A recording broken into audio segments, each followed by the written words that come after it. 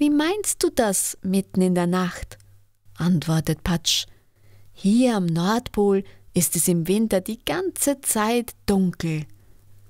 Da geht die Sonne monatelang gar nicht mehr auf. Wir Dinosaurier müssen dann auch ohne Sonnenlicht klarkommen.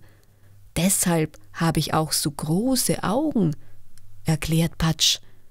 Ach so, das wusste ich nicht, gibst du zu. Und dann habt ihr die ganze Zeit nur den Mond, der euch Licht spendet? fragst du neugierig. Nicht nur den Mond, lächelt Patsch. Schau mal nach oben. Du traust deinen Augen nicht. Wie die schimmernde Oberfläche einer Seifenblase leuchtet ein buntes Licht am Himmel.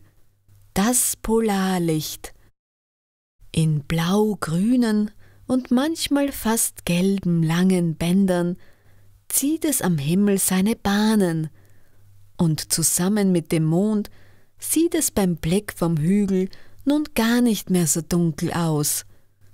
Der Schneesturm hat sich beruhigt und die Luft ist sehr klar. Du kannst kilometerweit ins Tal hinunterblicken. Erkennst du etwas, was dir bekannt vorkommt, Patsch?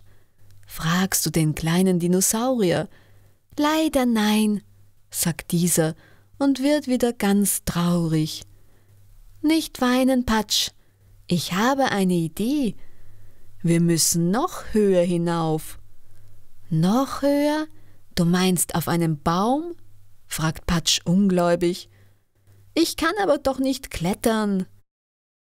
Aber ich, antwortest du selbstbewusst, warte hier unten, ich schaue mich mal um. An den kahlen Ästen des mächtigen Baumes hinaufzuklettern ist ganz einfach. Sie wachsen dicht beieinander, so dass du nur zugreifen und dich hinaufziehen musst.